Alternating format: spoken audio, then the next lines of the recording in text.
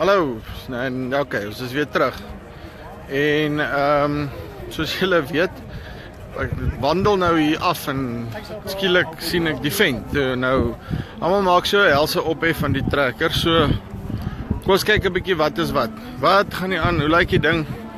Ek neem aan hierdie manne met wie ek moet praat, nê. Nee. Vir Is julle die manne van van vent?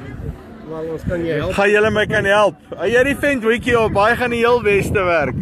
Okay, kom ons begin by die begin. Kilowatte? Ah, ek sou vir moet kyk. Ek kan meer met koppie. Dis 300. Nee, hier is daarom. Okay, right. So ons het 'n uh, tussen 291 en 380 kW. Baie nice. Dis 'n manier dat ons die bonne dalk kan oopkry, so dit moontlik wees. Kom ons kyk 'n bietjie hierso. Weet nou sorry. Mense bietjie afneem daar met hulle selfies en goeters. Ek weet nie of hulle iets iets iets van die trekker is die grootste. Ons moet net uitvind wat presies. Hulle gaan gou vir ons hier. Okay. Intussen tyd sê vir my ehm um, hulle praat van die ding is die grootste iets van die ding is die grootste. Wat is dit? grootste trekker in die wêreld. Maar ek kan sweer die keis lyk vir my groter of die John Deere for that matter. Wat is die Jy kyk uh ja, output kilowatts en groot. Ja, output kilowatts in terme van uh, op op wiele of wat. So dis die grootste trekker wiele. Right, ek met nie treks en knak en goed nie. Kom ons kyk snaaks. Julle kyk of julle daar vir my kan oopkry gou. Dankie. Kom ons kyk gou 'n bietjie hier binne. Lyk die cap. Op. How's hy? Moet sê daai voetvet sit op 'n heel lekker plek. Baie nice selle groot neus. Ek weet nie of julle dit ordentlik kan sien hoe groot is hierdie ding se neus op die dingie, maar ek dink hy's actually groter as wat die kuissin is. Selle verder. Ons kyk bietjie by die kontroles. Ehm um, daar's daar 'n go en 'n end waarvoor dit ook al sal staan. Plus minus geen idee wat hulle doen op hierdie stadium nie, maar ek moet sê dit is 'n uh, dis regtig 'n lekker kajuit. Sit lekker in die ouetjie. So nou vir julle nog 'n bietjie meer 'n idee gee hiervan hoe dit lyk. Vorentoe. Op. Right. Ek moet sê hy agter redelik stewig. Lig is net nie so lekker hierso nie. My standaard remotes Jy moet nie foto's neem. Ons kan of jy kom Net so. aflewer dan dan. Kan ons kan kom aflewer? Ja. Okay, hoeveel? Want dan het studente afslag moet ook inkom. Nee nee, want jy's nie jy's nie 'n fan customer nie. As ek nee nee nee nog nie. nee, maar vertel my 'n bietjie, hoekom is hierdie hoekom is hy genuine? Kyk, ek sien baie van hierdie YouTube video's en dan trek hy net die krap uit 'n John Deere uit of wat ook al en hierdie ouens is ongelooflik happy daaroor, maar maar wat is dit? Wat sê die Duitsers of die manne wat die ding maak? Hoekom? Kyk uit uit 'n paar goed wat hom 'n wêreld eerste maak in 'n verskeidenheid van aspekte. Die eerste ding, hy het 'n vent video drive. Ja. maak hom die eerste en die enigste trekker in die wêreld wat onafhanklike voor- en agterwiel dryf het.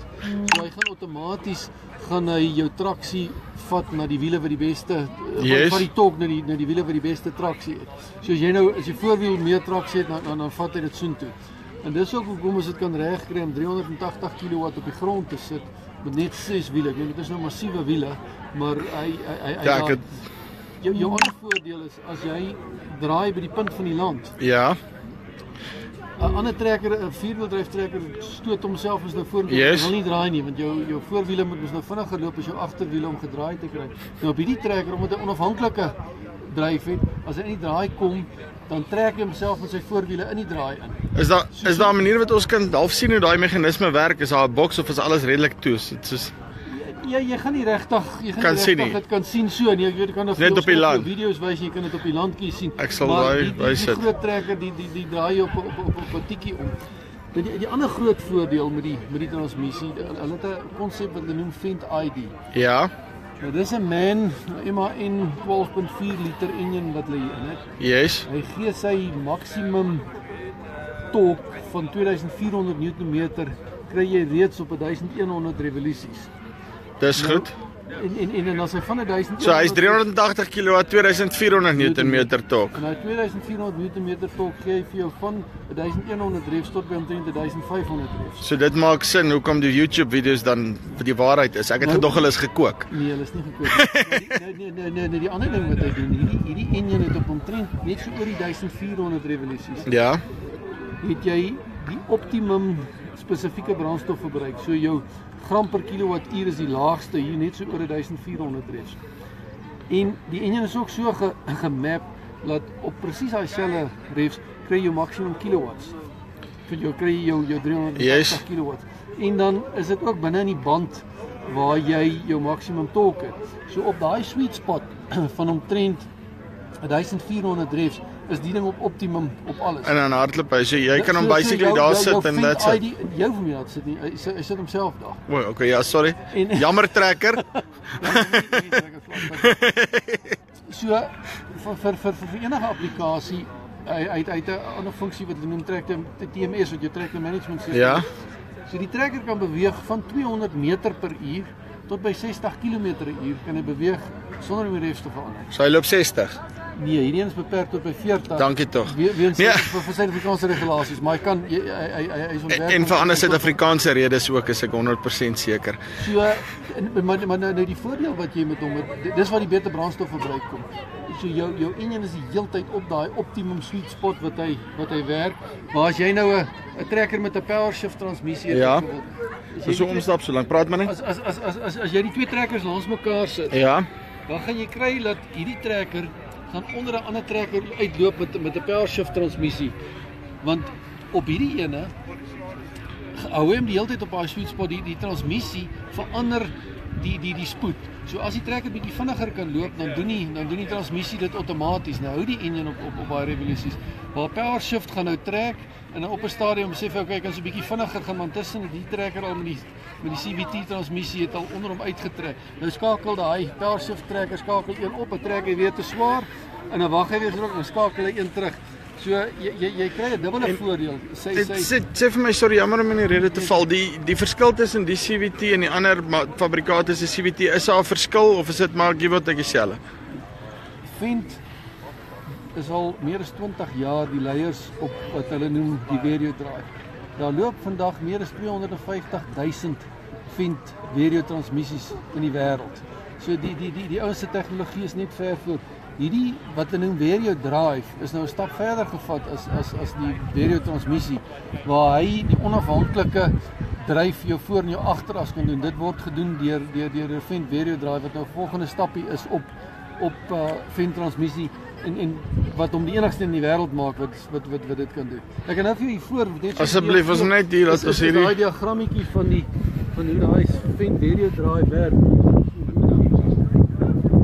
Hierso het jy nou 'n diagrammatiese uitbeelding van jou Vent video drive. Daar daar sit jou enjin. Dan dryf hy meganies dryf hy 'n planetêre radstelsel in in in in die beauty van hierdie ding is dat jy 'n kombinasie van 'n meganiese direkte meganiese dryf en 'n hidrostatiese dryf wat dit baie effektief maak. Dis cool. So hy dryf nou daai planetêre radstelsel aan. En en en as jy nou geen ehm um, hidrostatiese dryf in het nie, dan dan dan staan hierdie hierdie rad, die buite ringrad staan stil Ja. en hy dryf dan daai binnekantste daai groen rad dryf hy dan nou aan. Daai groen rad dryf direk op jou pinion wat wat dan jou jou Ja. stelsel aandryf. So dis dan 100% meganies. Yes. Daar het hy 'n hidroliese pomp wat wat met 'n swashplate werk Ja. en en en en wat nou ook deur jou deur deur jou enjin aangedryf word wat wat op hierdie buitekantste rad van jou aangedryf word en daar het jy twee hidrostatiese motors. Die een dryf jou vooras aan en die ander een dryf jou agteras aan. En en dis die rede hoekom jy onafhanklike dryf het tussen jou voor en in in jou agteras. So wanneer nou met die trekker ry, as daai swashplate op jou pomp in neutrale posisie is dan pomp hy nou geen olie nie en dan is dit 'n suiwer 'n meganiese dryf. So as jy nou wil vinniger ry, dan gaan jy nou daai swashplate draai Ja. en dan, dan gaan hy nou begin olie pomp hier hier na die ding toe en en dan gaan hierdie hierdie motor hierso gaan nou die trekker beginne versnel. As jy as jy wil stadiger ry, dan draai hy die rigting van hierdie ding om van van van van daai radstelsel Yes. en dan maak jy hom stadiger. So dis hoekom die ding van van 200 meter per uur tot 60 km per uur kan ry sonder dat jy 'n uh, radskakeling doen. En wanneer hy dan nou vasstel dat jy beter traksie op jou vooras byvoorbeeld, dan gaan hy stuur hy sein vir daai voorste motor, dan Ja. sê okay, verander die swaspleit dat jy meer krag op die op die vooras sit of dan met die agteras. As jy by 25 km/h kom, dan ontkoppel hy daai daai koppelaar Ja. wat daar is. Dan is outomaties tweewieldryf want dat jy nou nie 'n vierwieldryf Ja, het. dan- ja. so, so jy hoef nooit om oor te skakel van handrad, ag van van tweewieldryf na vierwieldryf nie.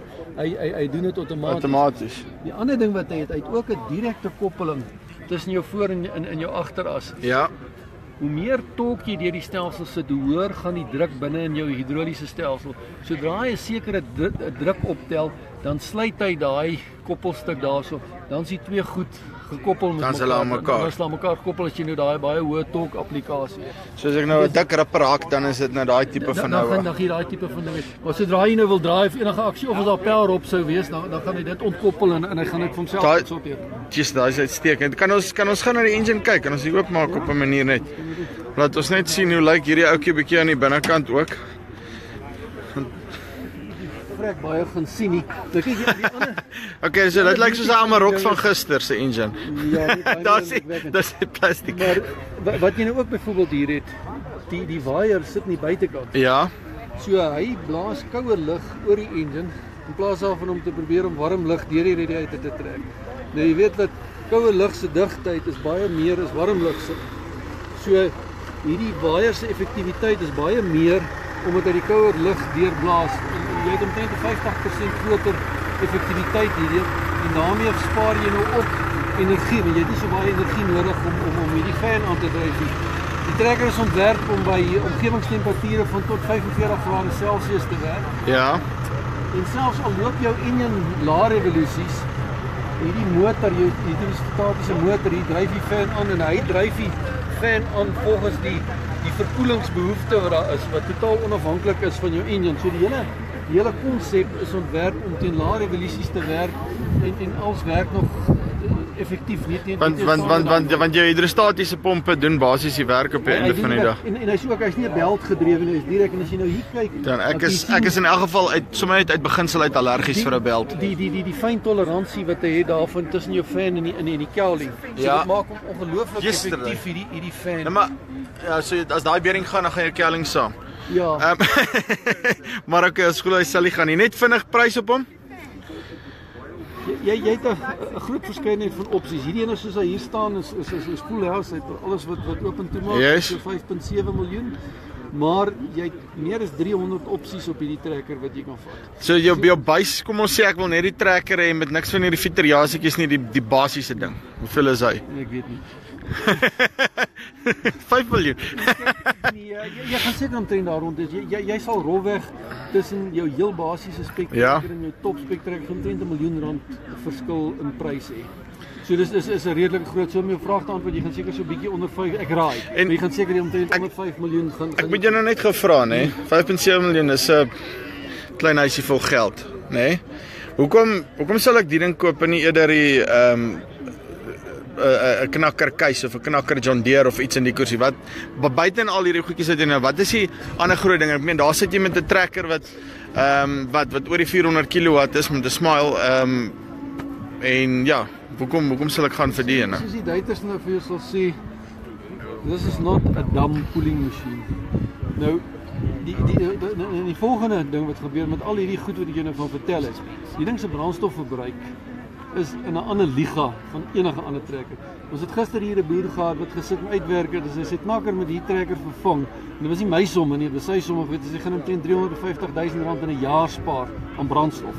Wel dit maak sin, daar gaan jou rente alweer. So wel jou jou rente en, take. en en en en en jou afbetaling. Die die die feit dat hierdie enjin die heeltyd op sy optimum, op sy laagste spesifieke brandstofverbruik is en daai stelsel hou hom daar. As jy 'n trekker met 'n power shift transmissie het wat wat al die knakkers het, as hy skakel van een rad tot 'n ander rad, dan gaan die refs doen mos dit. So so daai enjin hardloop enige plek, hierdie ene hardloop hy van konstant op daai optimum. En die feit dat hy vinniger beweeg, jy weet jy, jy gebruik minder brandstof omdat die enjin op sy optimum werk die hele tyd en die trekker beweeg vinniger omdat hy hom heeltyd die die spoed optimaliseer. So as jy dit terugwerk, jy jy, jy het so dubbel positiewe OME as jy dit so kan doen. So as jy Man. terugwerk na jou liter per hektaar toe, dan dan dan sê ons aansienlik beter. Ons het hom ons het hom nou so 2 weke terug Hans Weiser Reneke het ons 'n 15 ton dripper met hom gesleep wat wat wat 450 ja. mm diep is. Nou ek sal nie sal nie name noem nie, maar die die die die boer het daai ripper getrek met 'n met 'n knakker voorheen en hy het hier tussen 14 en 15 liter per hektaar wat wat sy knakker gebruik het. Ja. Ons het hom gesleep 7.1 liter per hektaar. Sê weer, Vir tussen 14 en 15 en 7.1 liter per hektaar. gaan jy dit op skrif sit? Nee.